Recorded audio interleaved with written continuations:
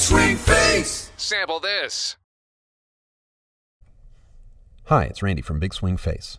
Today we're going to look at the panning and location system in the Big Swing Face tenor trombone.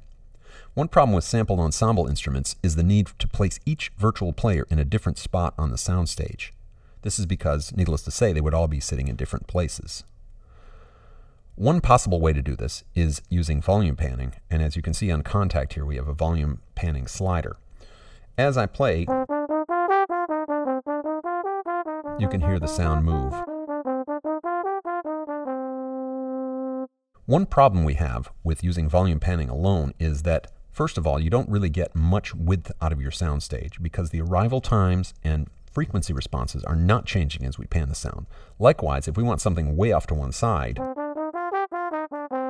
we have the unnatural condition of the sound coming only out of one speaker or one ear of our headphones. A second way to do this is to embed the ambience into every sample. This would mean to record the instrument with the ambience at the same time. While realistic, we only get one location for each instrument, unless we want to record it in different positions, and any kind of programming we want to do will affect the ambience in a negative way. A third way that we're going to do today is to use convolution to create the correct reflection patterns and early reflections to make an instrument sound like it's in a particular place. The way to access this is to press the CLAMS Virtual Stage tab at the bottom of the instrument. You will see a picture of the stage, the actual stage where these impulses were recorded. The location button turns on the first part of the impulse response, which governs location from left to right and front to back. The early reflection button turns on the next 30 or so milliseconds, giving us more of the ambience of the room and more clues to the distance from the sound. And the ambience button turns on the full reverb, which you can select from room, studio, or theater. Um, and you have independent levels for early reflections and ambience. Now let's listen to the sound move around the stage as I select different stage locations with the buttons.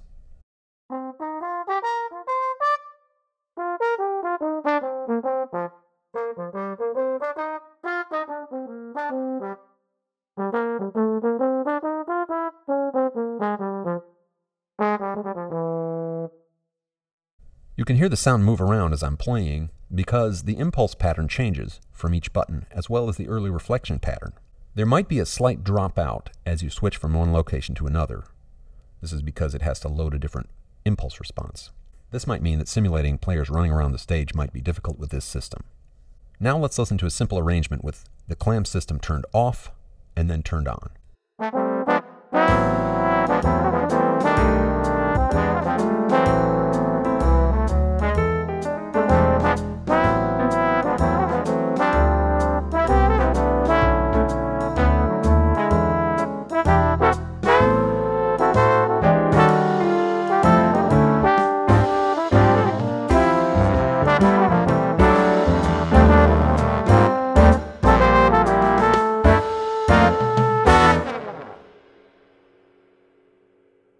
Now let's engage the clam system, early reflections,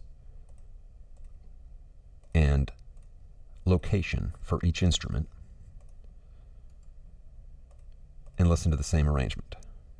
We will also pan all of them to center since volume panning is irrelevant now.